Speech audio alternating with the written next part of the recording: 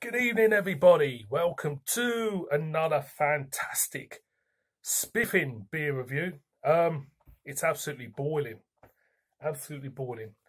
Um, really, really warm, and it's time for a beer.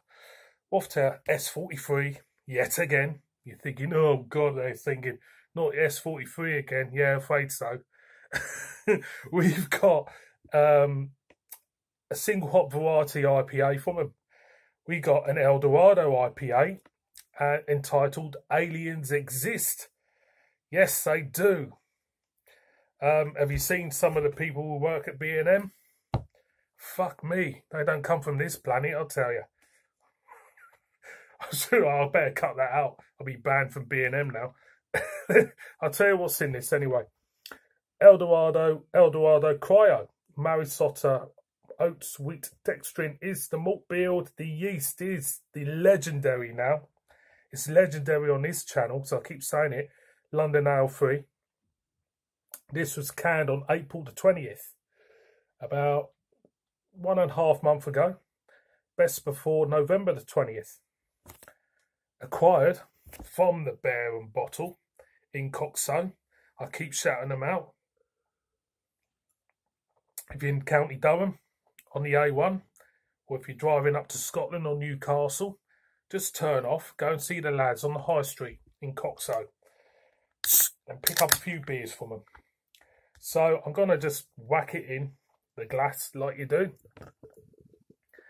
and see what this is about. I've been meaning to do this beer for a few weeks now. Um, I've been informed that this could be their best release so far this year. Um, I beg to differ. I think the Dank IPA for me was their best release this year, but you look at that, it looks absolutely gorgeous. Look at it. Just look at that.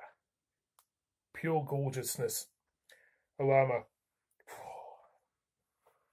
aroma, oh my god, it smells gorgeous. Mango, tropical fruits, it's all there. Oh, grassy. Hay time. It smells phenomenal. It really does. Pine. It's not hitting a pine for me. It absolutely smells. Maybe hint of peach. But very grassy very grassy. It smells gorgeous. Cheers.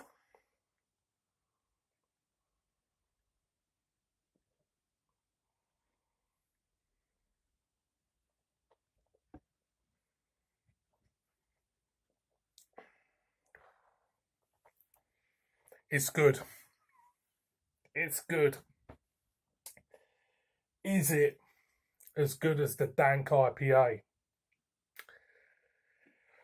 That one there, is it as good as that? That one there, blue one with the face, is it as good as that?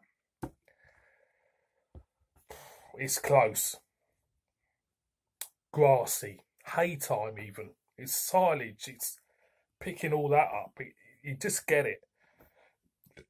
Hint of tropicalness. There, peach, apricots are there. Mouthfeel, pillowy soft. It's gorgeous. It is. It's absolute banger. um,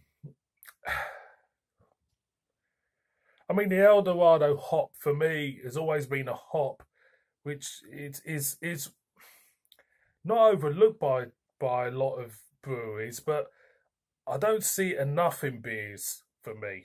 Um, the S43 what I love about the single hop variety beers they've done, I've done the Mosaic one as well. It really does showcase what they can do with a single hop, and I'm always been a big fan of them because it shows the you know how diverse it could be, what they can achieve with a single hop, and this is definitely um, a work of art when it comes to brewing with El Dorado it's a work of art. It really is. It's absolutely beautiful.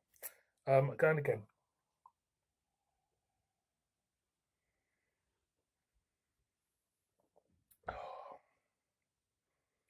It's staggeringly good.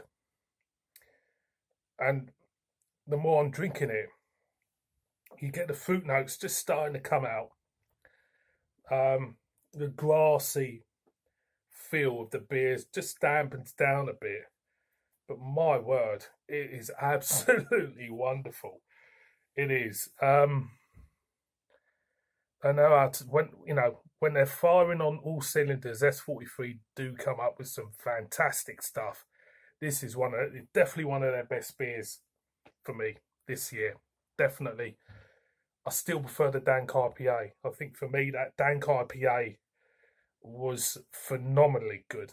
But this is between this one and the Windowsill Conspiracy. Them two beers very similar because um, they're single hop variety beers.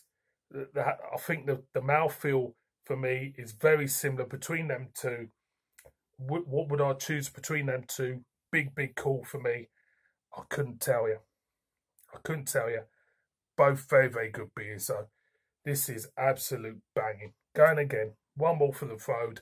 I'm six minutes in, but it's a pure joy in a can. It really is.